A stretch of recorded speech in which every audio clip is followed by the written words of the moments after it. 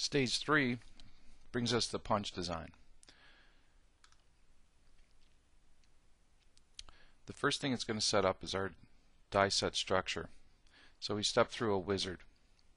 There are three steps to the wizard, different types of configurations, and of course user defined settings. So down below here you'll see a load and save parameters. We can adjust our different plate sizes, turn them on and off it as needed. Now we can set our width and our of our inner and outer plates. We can set the plate center. And finally, we can set our clearance for all the different notching and piercings. Our land, our taper, and once again, we can save the parameters for reuse. Now you'll see that there are placeholders for each one of the different features that we've created thus far. So the split notches, the notchings, the piercings, and so on. These are just placeholders for the time being. We're going to start out with a, an option to create just the 2D. This gives us the flexibility to create the two-dimensional sketches at the right planes, but allow us to modify the sketches before the 3D is created. It's strictly an option for the user may be more comfortable working in the 2D at this mode. And then what we can do is show and create the 3D. In this case I also have a setting on for shoulder locks. This is an option and of course if I zoom up you'll see a better idea what's going on there.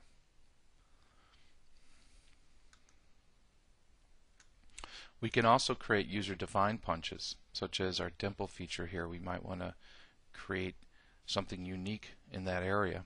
So to get started with, we can zoom up on that and take those faces that are going to create the form and actually utilize those for extruding up to. So in more complex forms, this would be the simplest example you can quickly leverage the information right off the strip. Once we've created that, we can draw the profile of our punch. So I'm going to go to the feature manager and start a sketch. This way we can utilize SOLIDWORKS sketching tools and in this case it's going to be a simple circle. So let's just zoom up around this feature and find the center there. Dimension that. Say it's 6. And just close that up. Going back to this view, we can now go back to punches and create a user-defined punch. The profile is the sketch I just created, and then what are the surfaces. So I'm going to pick that surface from the feature tree. It's a flyout tree. Gives me the ability to do that. And then pick OK.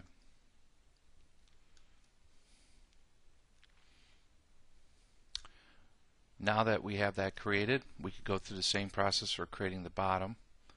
And instead of going through that, let's just show some of the tools that we have to control the project info.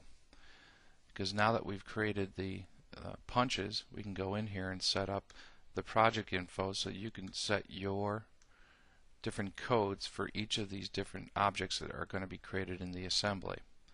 So whatever you use in your shop, you can put in the prefixes and so on, and it's going to organize it very nicely for you. Let's show the rest of the 3D.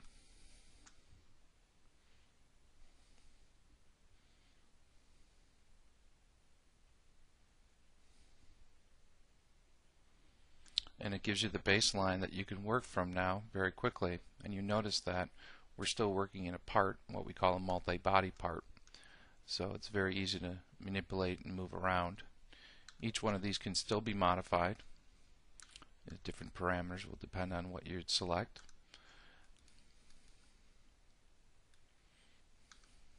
And our bends and so on can be modified. Our cross sections we can split this block into different configurations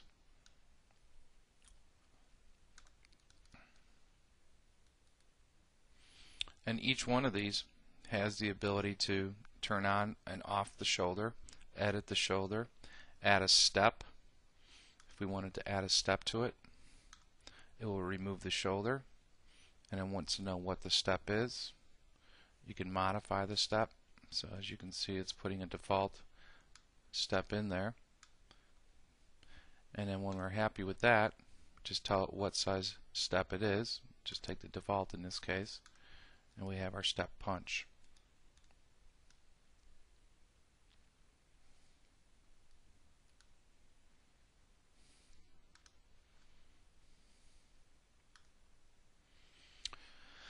We can also hide the 3D very quickly to go back and work on specific areas.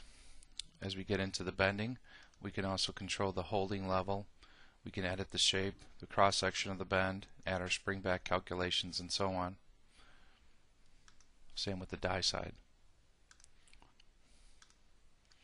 So at this stage we can convert now and step into the die set.